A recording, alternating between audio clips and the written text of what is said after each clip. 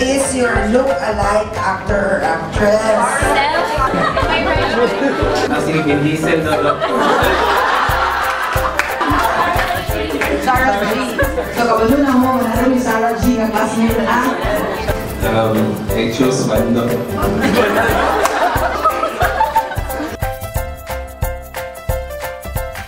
you feel about this activity? What did you learn about your friends? learned out that my friends are birds.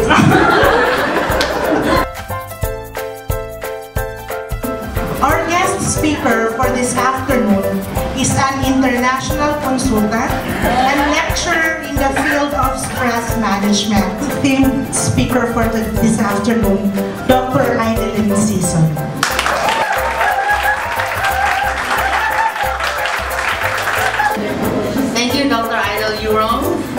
Introducing me to this young and uh, quite young group of people.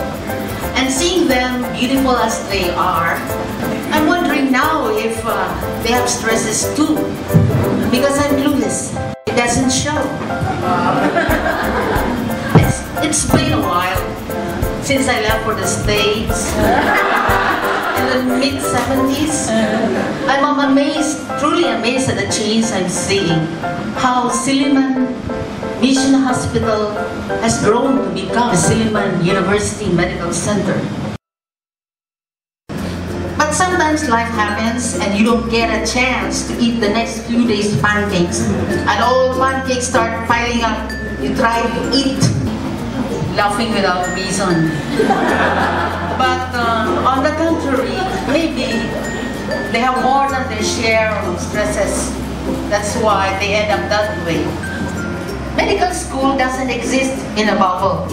One says medical school is perfectly manageable if you get everything done that needs to be done every single day. But everybody knows, you know, that is never going to happen in med school. Stress is unpleasant, even when it is transient. And you can change the fact that becoming a doctor is stress-inducing endeavor that requires long works and hard work. While it is not possible to take stress out of medical school, it is certainly possible to learn and use stress relief strategies that can help you handle it better. Relaxation techniques, meditation, contemplation can calm your mind. Laughter and humor are two powerful tools helping people cope and get through threatening situations. Discuss the circumstances you are facing with trusted friends and confidants. Learn to delegate, leave time for yourself in your schedule, and learn how to say no to stress-inducing requests that are not essential. Um, needless to say, we are in the medical field, so we are trained to handle stress.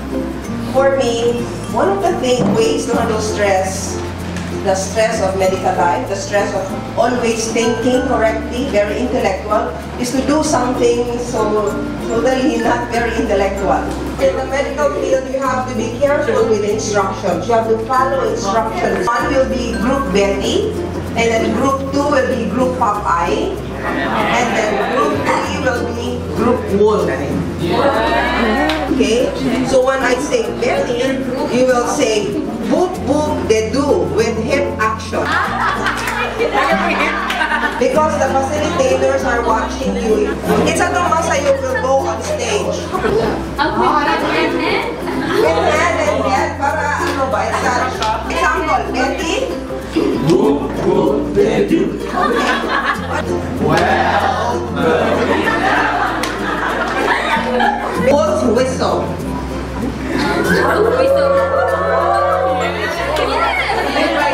Begin the story. Once upon a time, there was a charming young lady named Betty. Boop, boop, they do. Decided to visit her grandmother who lived in the heart of the forest, where the wolf. Betty,